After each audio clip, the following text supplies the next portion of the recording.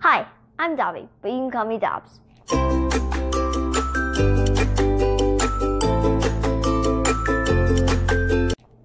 Today I'll be reviewing this the book The First Rule of Punk by Celia no, Celia C. Perez. This book is a realistic fiction book about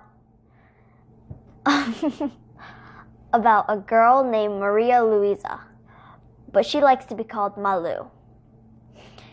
She is a Mexican American, and her mom is Mexican and her dad is American.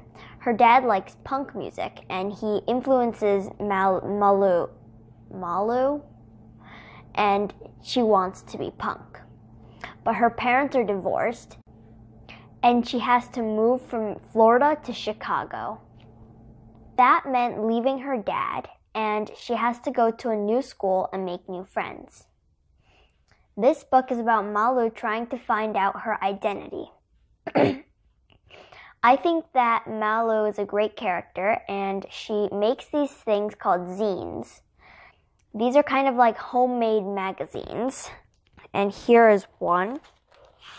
So here's the beginning. And it kind of, it's like eight pages. And Malu started making zines when she found her dad's. It was in his um, high school. When he was in high school, he made these. And she just uh, she describes them as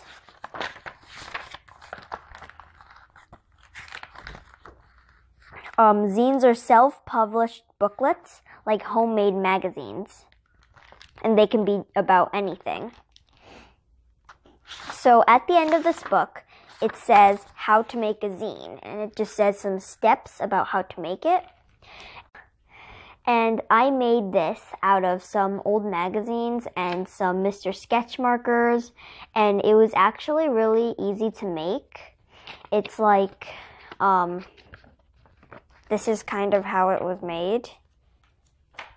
It was like this, and then you just like go like this I don't know. It uh, and so in the back, I just followed these directions, and it became this cool little thing.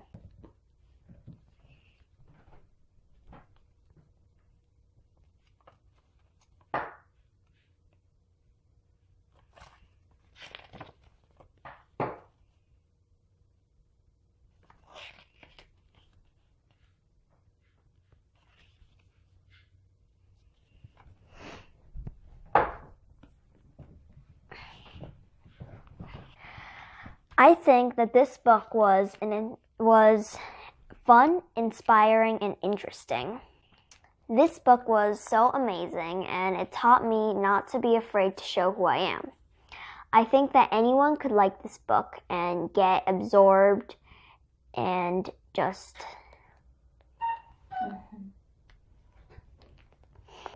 and get I think that anyone could like this book and get absorbed in it. Anyways, overall, this was a great book and you should definitely try it. So that would be the end of my book review. If you've read any of these books that I have reviewed so far, then make sure to comment down below your opinion on them and comment down below some recommendations for books I should read. Thanks for watching. I hope you enjoyed.